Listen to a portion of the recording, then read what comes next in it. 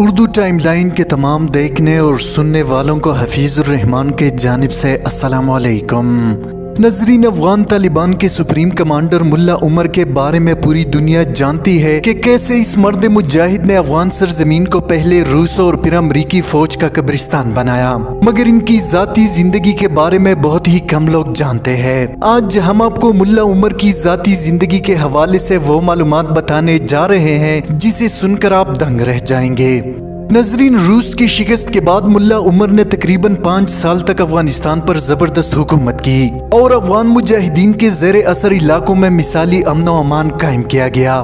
इससे पहले जब तालिबान रूस के खिलाफ जिहाद करते रहे तो अमेरिका ने तालिबान की भरपूर हिमायत की और तालिबान को मुजाहिदीन और फ्रीडम फाइटर का नाम दिया गया। मगर जब अफगान मुजाहिदीन से अमेरिका के मफादात ख़त्म हुए तो उसी अमेरिका ने सबसे पहले अफगान मुजाहिदीन के गिर्द घेरा तंग किया और इन्हें दहशत गर्दी की लिस्ट में डाल दिया गया। नजरीन अफगान मुजाहिदीन की पाँच साल हुकूमत के दौरान तमाम तर फैसले अदालत के बजाय मस्जिदों में हुआ करते थे, जबकि किसी वज़ीर या मुशीर के लिए शाही प्रोटोकॉल की इजाज़त नहीं थी। नजरीन सुनकर आप हैरान होंगे कि मुल्ला उमर अमीरुल होने के बावजूद सरकारी खजाने से तनख्वाह नहीं लिया करते थे। एक साहिब मुल्ला उमर से अपनी मुलाकात का हवाल कुछ यूँ बयान करते हैं कि जब अफ़गानिस्तान में तालिबान की हुकूमत थी तो काम के सिलसिले में मुझे अफ़गानिस्तान जाना पड़ा। उस वक्त मैं एक अरब अखबार के लिए रिपोर्टिंग करता था तो सोचा क्यों ना मुल्ला उमर की साथ मुलाकात की जाए और इसका इंटरव्यू लिया जाए। नजरिन, ये उस वक्त की कहानी है जब अफगान मुजाहिदीन काबुल फतह कर चुके थे। इस कहानी का हवाल इंतहाई दिलचस्प है। साहिब बयान करते हैं कि जब मुल्ला उमर से मिलने गया तो वो सदारती महल में नहीं, बल्कि एक बुसीदा मकान में रिहाइश पजीर थे। ये बुसीदा मकान काबल शहर से चंद किलोमीटर के फासले पर था, जो बिल्कुल कच्चा था। सुनकर आप हैरान होंगे कि इस मकान का दरवाज़ा टीन के डब्बों से जोड़कर बनाया गया था।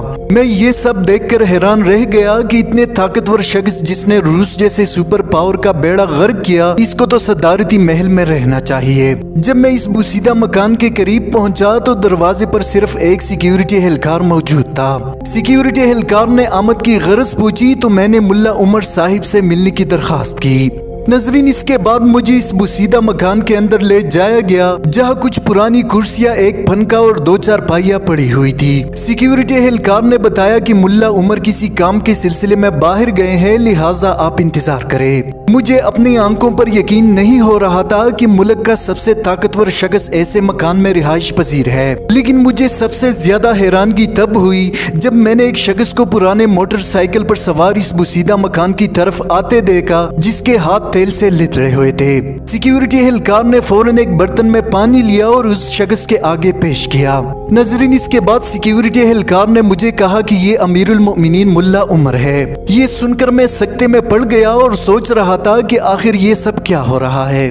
आखिर मैंने हैरानगी के आलम में पूछा मीर साहिब, आप कहा गए थे? और ये हाथों पर सियाह तेल कैसे लगा है? जिसके बाद मुल्ला उमर ने मुस्कुराकर जवाब दिया कि दरअसल मैं हुकूमत से वजीफा नहीं लेता, जबकि लोगों के जनरेटर वगैरह ठीक करके अपनी मजदूरी बना लेता हूँ। नजरीन, ये वो शख्स था जिसकी खौफ से पूरा मगरब खामता था, जो दुनिया के सुपर पावर के आगे सीना थान कर डटा रहा। जिसने कहा था कि एक दिन अमरीका फिजा से ज़मीन पर उतरेगा और वो दिन अमरीकी और नेटो फौज के लिए ज़िंदगी का भयानक दिन होगा। नजरीन, आज हम अपने हुक्मरानों को देख ले, जिनको अयाशियों और पैसा जमा करने से फुर्सत नहीं मिलती, जो मुल्क और अवाम के पैसों से बाहर ममालिक में जजीरे और प्लेट्स खरीद कर नहीं तकते। अल्लाह ताला पाकिस्तान और उम्मती मुस्लिमा की हिफाजत फरमा।